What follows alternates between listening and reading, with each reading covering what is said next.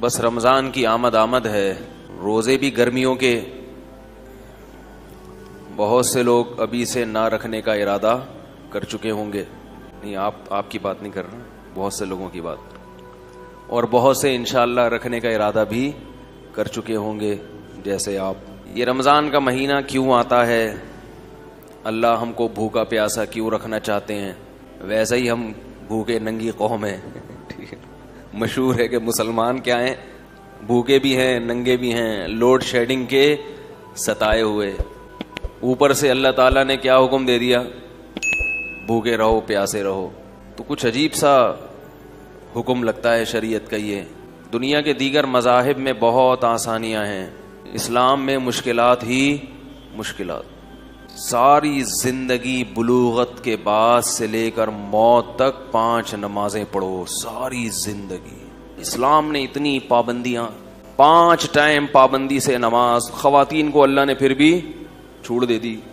लेकिन वो भी थोड़े दिनों की छूट है, फिर, बल्कि उस छूट से वो कहती हैं खातन और मुझसे एक रूटीन में आ जाते हैं तो फिर दोबारा रूटीन पे लाना मुश्किल होता है। माफ़ी नहीं है। सफ़र हो, हजर हो जबकि उम्मत के तमाम फुकाहा, मुफ्तियान कराम, सब कहते हैं कि रोजा छोड़ने की इजाज़त सिर्फ़ दो कंडीशन में है, सफ़र में और बीमारी में।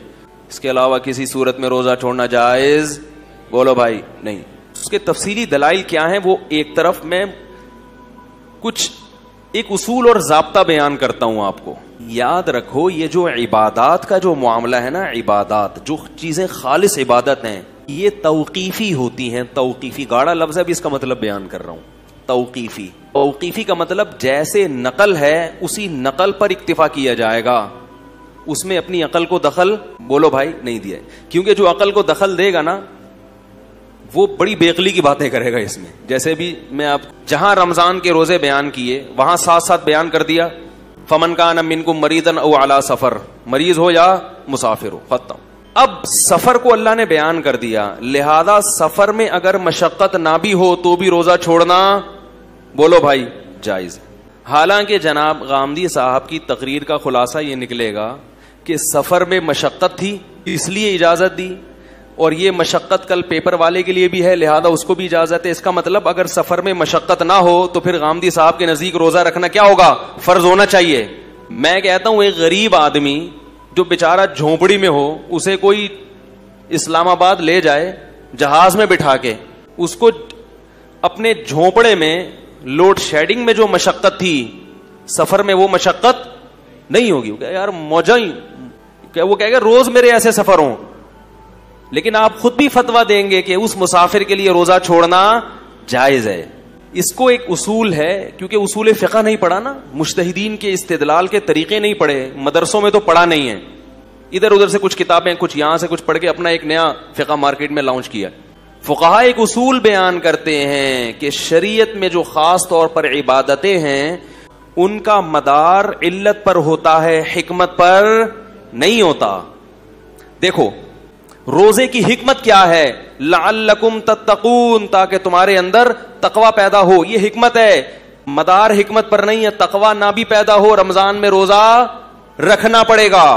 अगर एक आदमी कहता है, रमज़ान के रोज़े का मुझे फ़ायदा नहीं है, लिहाजा अगले साल में नहीं रखूँगा। और गुनागार होगा। क्यों? इल्लत यह है। कुतिबा अलैकुमुस्सयाम तुम पर रोज़े फ़र्ज़ किए गए। उसमें हिकमतें हैं कि भाई तकवा पैदा होता है, लिल्लाहियत पैदा होती है, नफ्स पे कंट्रोल करने की सलाहियत पैदा होती है। ये हिकमत है। मदार हिकमत पर नहीं है। मदार उस आयत पर है जिसमें रोज़े को फ़र्ज़ करार दिया गया। अब समझो कि ये जो अल्लाह ने कहा कि सफ़र में रोजा छोड़ सकते हो, इसकी हिकमत है कि सफ़र में मुश्किल होती है। ये हिकमत है, इल्लत नहीं है। इल्लत वो आयत है जिसमें सफ़र में रोजा छोड़ने की इजाज़त दे दी गई। लिहाजा सफ़र में मशक्कत होगी तो भी रोजा छोड़ना जायज़। मशक्कत नहीं होगी तो भी रोजा छोड़ना जायज़ होगा। और सफ़र के अलावा अगर मशक्कत नहीं हो तो भी रोजा रखना फ़र्ज़ है। मशक्कत हो तो भी रोजा रखना फ़र्ज़ है।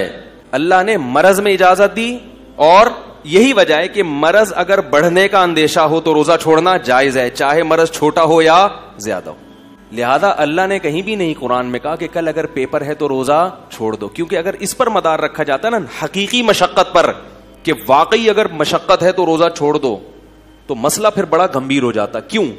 इसलिए कि मैं ये कहता कि गर्मियों में मुझे क्या होती है? तकलीफ़ होती है। एक आदमी के लिए कल पेपर की वजह से रोजा छोड़ा जा सकता है तो मेरा पेपर नहीं भी है, मुझे जून का रोजा वैसे ही समझ में नहीं आता मेरे। ये तो एक अजीब भेड़चाल बन जाती। वो रख रहा है, वो नहीं रख रहा, वो कह रहा है, मुझे तकलीफ़ है, वो कह रहा है, तकलीफ़ नहीं है, वो कह रहे तकलीफ़ नहीं है तो फिर रोजा का सवाब क्या है? तो रोजा को तो नाम ही मशक्कत का है। क्या ख्याल है? तो इसलिए ये जो नए नए हजरात आ रहे हैं ना, प्रोफेसर हजरात इनसे दीन मत सीखो मेरे भाई। दीन ओलमा से सीखो, जो सदियों से मदारिस में पढ़ते पढ़ाते आ रहे हैं। अगर इनमें गलत है तो सही भी इन्हीं में पैदा होंगे। इसी वजह से तमाम फुकहा का इजमा है कि कैसी ही शदीद मशक्कत हो। अगर सफ़र नहीं है और मरज नहीं है तो आपको रोजा रखना पड़ेगा। यहाँ तक के कोयले की कान में काम करने वाला मजदूर जो एक मिनट प्यास पानी के बगैर गुजारा नहीं कर सकता, उसको भी रोजा रखना पड़ेगा। नहीं आ रही बात। गर्मियों में गड़ा खोदने वाला मजदूर, उसको भी रोजा रखना पड़ेगा, क्योंकि मशक्कत होगी। मशक्कत की वजह से अल्लाह ने रोजा छोड़ने की इजाज़त नहीं दी। रोजा तो नाम ही मशक्कत का है। मशक्कत की वजह से इजाज़त दी नहीं। मशक्कत तो इसी में होती है ना। हर आदमी को एयर कंडीशन लाइफ थोड़ी मिलती है। चौदह सौ साल से मुसलमान एयर कंडीशन में नहीं बैठते आए थे। यही था मजदूरी करना और ये करना, वो करना, गड़े खोदना। ये इन्हीं लोगों को तो कुरान खिताब कर रहा है। ये तो हमें एक सहूलत मिल गई एयर कंडीशन रूम और एसी ऑफ़िस है और कंप्यूटर पे बैठे हुए हैं। असल जो खिताब हो रहा है साहबा कराम को, वो तो यही थे, मजदूर थे। खेती बाड़ी किया करते थे। किसी सूरत में जायज़ नहीं है मजदूर के लिए रोजा छोड़ना। सवाल पैदा होता है कि कोयले की कान में काम करने वाला रखेगा कैसे? वो तो एक सेकंड भी पानी के बगैर गुजारा बोलो ना भाई, नहीं, वो तो मर जाएगा। हम कहते हैं, जब मरने लगे तो तोड़ दे। क्योंकि अल्लाह ने सबसे पहले किसको तरजीह दी है? इस पे कुरान सुन्नत है कि सबसे पहले क्या है? ज़िंदगी। मरज में भी इजाज़त और मौत से बचने के लिए भी इजाज़त। लिहाजा बीमार होने का खतरा हो शदीद। तो जब वो खतरा पैदा होगा, उस वक्त तोड़ेगा। तोड़ना उसके लिए जायज़ होगा। छोड़ना जायज़। छोड़ने के दलाइल अलग हैं। तोड़ने के दलाइल, बोलो ना यार अलग हैं। इसलिए ओलमा कहते हैं, तीस दिन किसी ने रेगिस्तान में रोजा रखा या कोयले की कान में, तीस के तीस दिन रोजा रख के तोड़ेगा इंशाला गुनागार नहीं होगा, कफा बाद में कजा कर ले। छोड़ेगा तो गुनागार होगा। क्योंकि कुरान की आयत है, फमन शहीदा मिन को मुशहरा फल यसोम जो भी रमज़ान का महीना पाए, रोजा रखे, सिवाय दो के मरीज़ और मुसाफिर। कोयले की कान करने वा, कान में काम करने वाला इस मन के मफहूम में दाखिल है। जो भी के मफहूम में दाखिल है, लिहाजा वो भी रोजा रखेगा। फिर उजर की वजह से तोड़ेगा।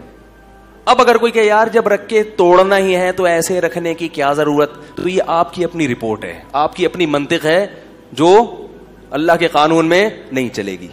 इसकी मिसाल ऐसे है